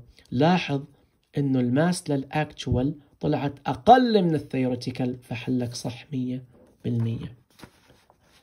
لا تفكروني أسرعت بس لأنه الفكرة متكررة عندي لهون. جماعة الخير هاي أسئلة السنوات اللي عندكم وأمثلة فيها مهمة انتبهوا عليها. تمام؟ لأنها نفس نمط الامتحان. وفي سؤال بدي أقول لكم يعني تطلعوا عليه آه هذا زي هون. ممكن يجيب لك شو أعلى عدد مولات. هاي what is the highest number of mole معك هنا أعداد ال molecules. تضرب بعدد أفوغادرو. هاي هنا معك mass. تقسمها على ال molar mass. تضرب في عدد أفوغادرو. عشان تطلع عدد المولات. وكل بيمشي على نفس الفكرة على القوانين رقم خمسة وستة وسبعة في البداية اللي علمتكم إياهن. هذا السؤال تدربوا عليه. ما راح أحله لكم. محلول جاهز. فكرته معطيني المولات لهذول الثلاثة. هاي ثلاثة مول من ال A ثلاثة مول من ال B ثلاثة مول من ال C. معطيني الثلاثة لكل واحد المول. بما أنه المولات جاهزات بقسمهن على المعاملات. أقل ناتج قسمي هو ال limiting reactant بعمل بينه وبين ال A نسبة وتناسب بالرجوع للمول الأصلي. تمام؟ وباقي ما تبقى هي عبارة عن أسئلة متكررة وأسئلة معادة. أتمنى لكم زي ما في الختام good luck chemistry. وأتوقع منكم ما حداش بحب ال chemistry كثير بس إن شاء الله هي ممتعة. وفي مثال كنت حاب أطلع, أطلع لكم عليه. اللي هو عندي. طبعا نزلت لكم تيست شابتر للأمانة مش لإلي عشان أكون صادق. موجودات بالأسئلة اللي وديت لكم إياهن. للدكاترة زي جميل أو خليل بحلوا عليهن. وفي سؤال هناك لفتني. بقول لك total number total number of atoms in قديش؟ فاصلة صفر واحد واحد مول. لل Fe CO الكل ثلاثة PH3 الكل اثنين. قاعد بقول لك شو عدد المولات لكل هاي الذرات؟ لكل هاي الذرات. اللي هو على القانون اللي هو قانون رقم سبعة اللي هو عبارة عن عدد المولات في عدد أفوكادرو ضرب عدد ذرات العناصر أو العنصر المطلوب. عدد المولات معطيني إياه فاصلة صفر واحد واحد. وعدد أفوكادرو معاكو. كيف أحسب عدد ذرات العنصر؟ تبع معاي. الأف إي ذرة. هاي الثلاثة طبعا هاي ال Fe ذرة. لما يقول لك CO الكل ثلاثة يعني عندي ثلاثة كربونة وثلاثة أكسجين. لما يقول لك البي اتش 3 بي اتش 3 هي صرنا بالطبية إحنا. مضروبة باثنين يعني عندي اثنين P وستة H. ستة واثنين ثمانية وستة أربعة عشر خمسة عشر ضرب خمسة عشر هذا بس يعني كأحد الأمثلة اللي هيك لفت نظري شوي إنه يكون مهم. وفي سؤال أيضا بأسئلة السنوات وديت لكم إياه. زي ما بتلاحظوا عندي على هذا الكمبيوتر هاي هي أسئلة السنوات. وبعثت لكم إياها مباشرة على هذا هو سؤال سنوات. وهاي أسئلة السنوات وديت لكم إياها على إيش ال group بتحلوها على ال limiting reactant وال excess وغيره وغيراته. فإن شاء الله أموركم طيبة. هاي الأسئلة الواحد راح يسألني وين بلاقيها على الكمبيوتر؟ آخر رابط بالسؤال لما بعثت لكم الأسئلة ركز على النمط رح يجي نفسه على الامتحان. تفتح لك مباشرة مكتوب على الملف مد اللي هو ال PDF وبتحل كل الأسئلة وإن شاء الله بنتمنى لكم كل الخير وفي الختام. ننهيها بألله يوفقكم ويسر أموركم جميعا وإن شاء الله نلتقي في قادم البثوث. دمتم برعاية الله وتمنى لكم كل التوفيق. وبالنسبة لأي سؤال استفسار ابعثوا لي. إن شاء الله أنا موجود. وإن شاء الله الشابتر الرابع راح نلتقي في بث مباشر مش بث مسجل. تمام؟ وأي حدا عنده سؤال يبعث لي سريعا. لما تحضر البث. وما فهمت إشي لا تتسرع تقول ما فهمتش لا ارجع شوي شوي على البث. وكأنه موجود قدامك. وكيمستري is alive. Thank you so very much. هاي بالعنقليزي فدمتم برعاية الله. الله يعطيكم الصحة والعافية ويقويكم. شكرا لكم ولحسن الاستماع. ونعتذر على الإطالة بشكل زائد.